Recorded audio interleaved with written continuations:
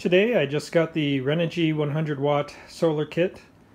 This has the uh, solar panel which is in the uh, big box and then we have the um, solar controller and also the inverter and all the wires that are necessary.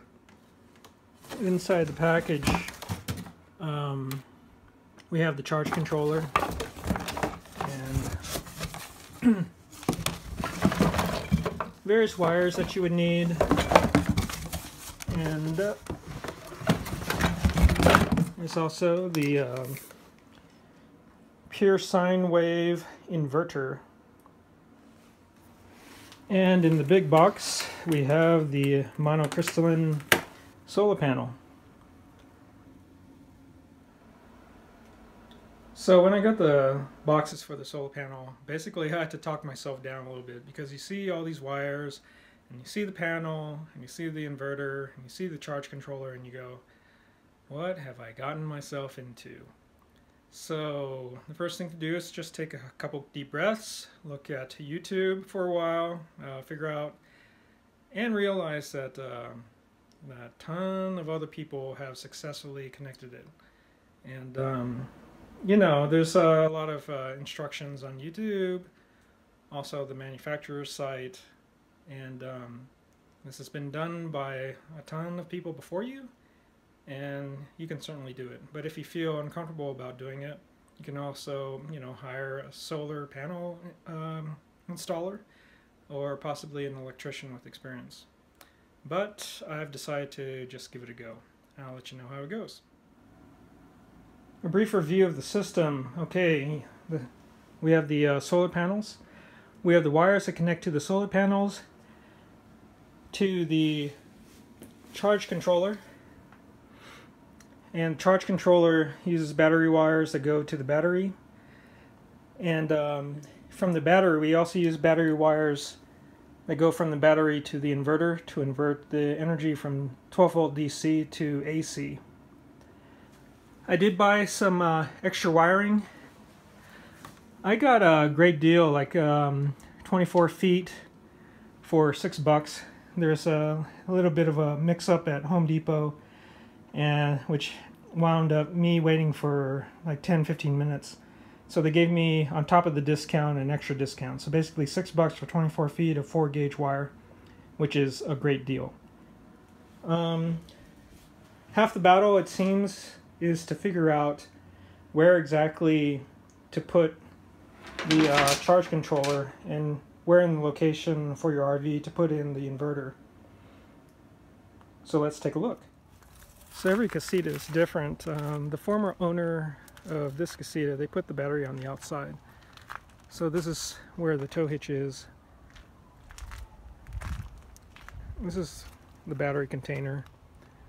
Um, what I plan on doing is uh, drilling a hole right under the shelf here so that it's protected uh, somewhat from the rain and um, I'm going to go straight through here. And where it'll go in is on the inside.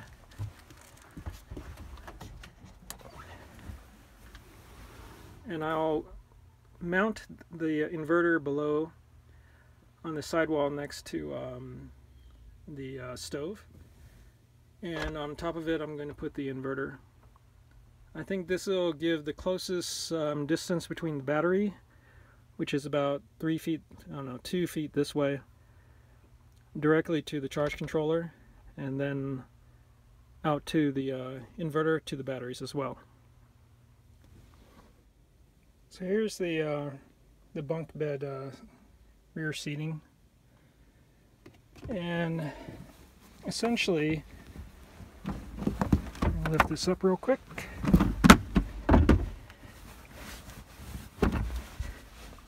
I'm going to be drilling through the back here. I'm going to drill a one and um, one and three quarter inch hole and then I'm going to put a coupler, a squeeze coupler conduit um, into the hole.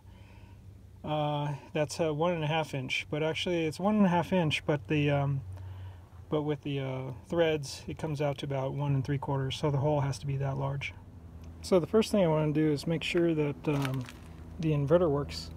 So what I have is a couple wires that are hooked into the battery and the negative I have a, um, a kill switch.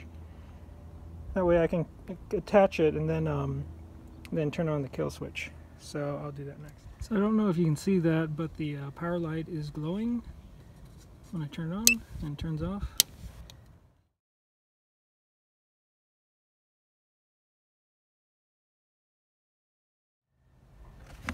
Okay, now I'm going to drill a hole next to the battery right here where I'm going to put in this uh, squeeze coupler where I'm going to run all my wires through. Okay, uh, I drilled a hole where I'm going to put my coupler which will hold all of my wires. What I find interesting is I have this um, clamp coupler or connector uh, to run my wires through this hole here but it actually measure, measures one and um, three quarter inches. And so I uh, drilled a hole one and three quarter inches but it's actually a little bit larger so now I have to widen it and what I'm going to use is a grinder. So here I go. So now I have the hole wide enough. What I'm going to do is um, put some silicone sealant onto this first, and then I'm to hammer it in.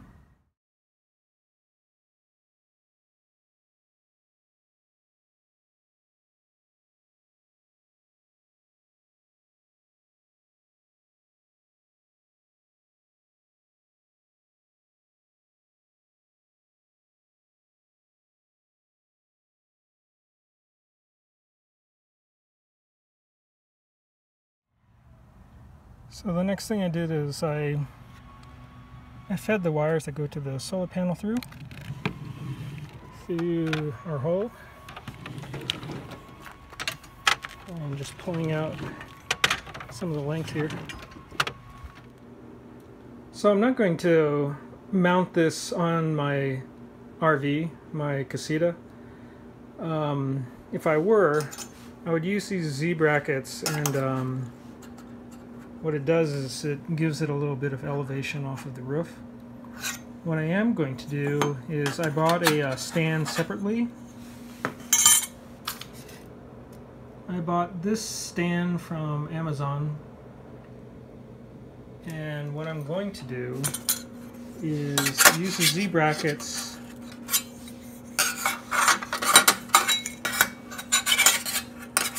like so and then what I'm going to do is use it as a bridge to put the stand up. I'll show you the results.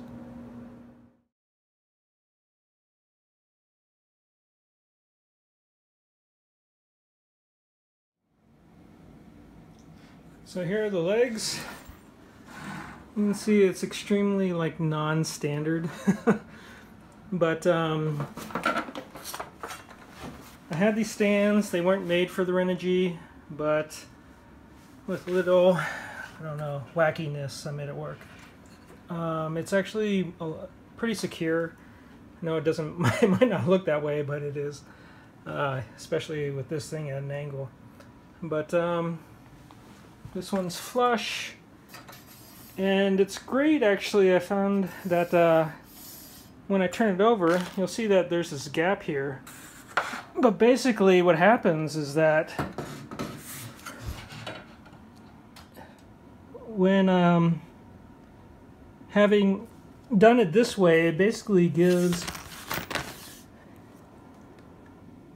a gap between the ground and the stand. I mean, the ground and the panels, which is nice. It'll keep it off the grass, off the dirt. And and I made it work. So tomorrow I'm going to hook it all up and we'll see how everything goes. Okay, moment of truth. I've set up the solar panel. Took me a couple days. Doesn't take uh, two days to do everything. It's just, you know, back and forth to Home Depot and back. So now we get to see um, if everything works. I'm going to plug in the solar panels. We'll check the voltage. So as you can see, panel voltage is at zero. we're going to connect the uh, solar panels and uh, see if it draws a draws a current. If it doesn't, it's a sign that uh, I have the polarities mixed up. So let's do it. Okay, so it rained last night and I'm drying the connectors. Um, here's the thing is um, the red doesn't mean positive it means the male side and so you have to go off of the um, the ends here. And one is uh, marked as uh, as positive. And the other one has a minus indicating it's negative. And so positive red is actually off of the panel. And that's how you can tell the um, positive versus negative. So let's connect it okay the connections are connected. The panel's covered. Okay the kill off switch. The kill switch is um, not closed so it's not active for the solar panels just yet.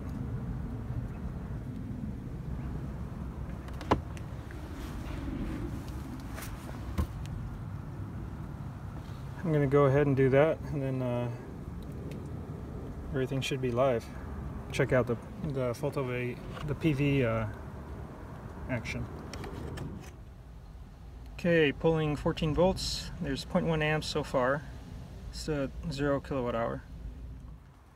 So everything's a go. Looks like I'll have to get a um, something like a 20 foot cable. Basically I can position this anywhere. So the advantage is that I can park in the shade and then put my uh, solar panel in the sun. Okay life is good. I have my laptop it's running off of the inverter as far as I could tell everything's charging I'll have to figure out understand more about this but used to be at 13.4 and then it uh, went down to it's coming up here. 12.7, so it's drawing a charge. But um, still good. And uh, this is exactly what I wanted to do. I wanted to run my laptop and also charge my cell phone. So life is good. Okay, so that was my solar panel installation video. Like I said, I use the Renogy uh, solar installation kit. It's about, I don't know, 460 bucks out of uh, Amazon, and I'll have the link below.